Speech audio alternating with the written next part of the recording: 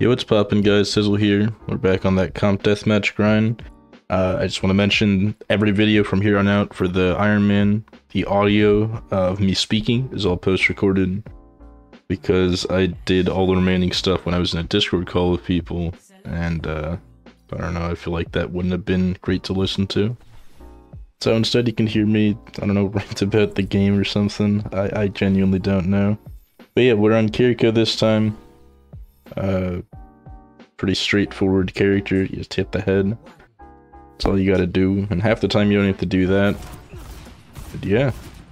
Uh, starts out with a nice clean headshot on the Kree. Just like post commentary. I don't, I don't know. Is this just straight like a commentator?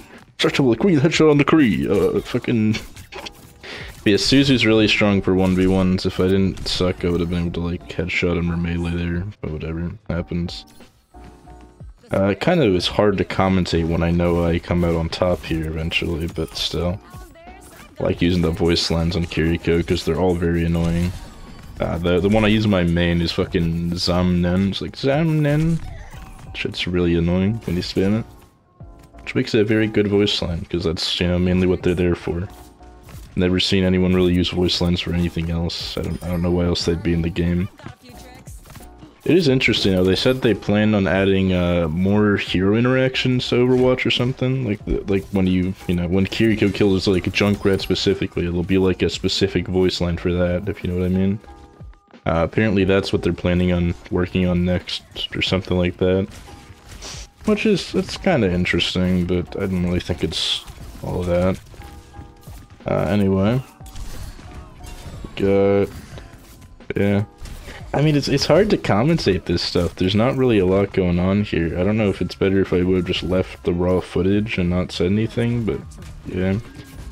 Uh, Kiriko is basically her whole thing in deathmatch. Is she's impossible to hit, but has a relatively easy time hitting other people, and especially if you hit heads, you can kill fast. Right? That's your whole gimmick on Kiriko. So you can basically just walk directly at people, and most of the time they're just gonna miss their shots on you. The only problem is Reaper is really good. And, you know, if he's on a full 250, it takes two headshots and, like, a melee to get a kill. Uh, yeah, I mean, this other Kiriko 1v1ing. The Junkrat just coming out of nowhere, letting her get the finish. I think I would have had her, I'll be honest. I mean, the thing with Kiriko 1v1s always just comes down to random headshots and stuff. I think here I was tabbing out to check the audio or something. I come back and the Hans is standing right in front of me. I, I genuinely don't remember what I was doing. I recorded this yesterday. And I'm doing the audio a day later while I'm doing the editing, quote unquote, where I just cut everything together. The audio might even be decent because I played the recording after. But yeah, look at that. That's that's a hundred ping moment right there with uh with the Suzu. I mean, I think I probably still would have died to Genji there, realistically. But point is, I was gonna use it to save myself. Look at that, just just dink the Reaper. If that Kiriko didn't show up, I think I would have had him with a body shot there. Kinda unlucky, but that's just how deathmatch works. Yeah, I think this game is played in in plat five ish. Uh, so you know that's that's something to guys keep in mind. But also the lobbies always have people from all over the place. Like the guy in first probably is like plat 2 or 1 or something. I don't think we had anyone I recognize from the top 500 leaderboard though. Most of those people kind of, you know, got their 50 games and then stopped playing because it's way too risky to play. It did almost manage to get Hanzo there, but you know, we're still holding a, a decent second.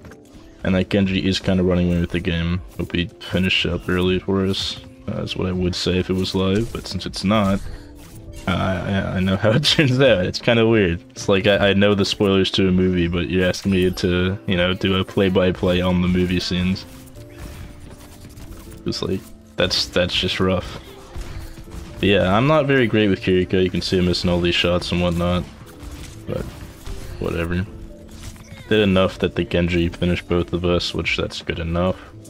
We're in a very, it's a very narrow second. Like, we have like a one or two kill lead, so we're probably going to get top four. You know, the goal here is to try to finish second. Bit unfortunate that Junker got away, but luckily he tried going back in, so we got a free kill there. I was spamming my voice line here uh, purely because I knew Genji was close, because I just saw him kill that guy around the corner. Uh, so I spamming the Kiriko voice line in the hopes that maybe he'll come over to me because he knows I'm close. Unfortunately, he didn't.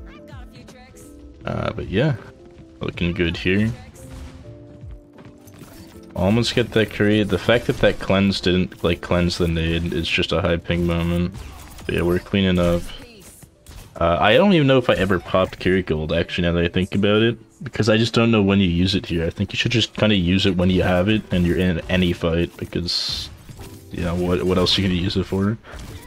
Very hard to intentionally use. I had to aim higher there. I wasn't aiming high enough to actually hit heads. That's unfortunate. You to see we got a nice second place tie. Guys at 19, and he just needs one more.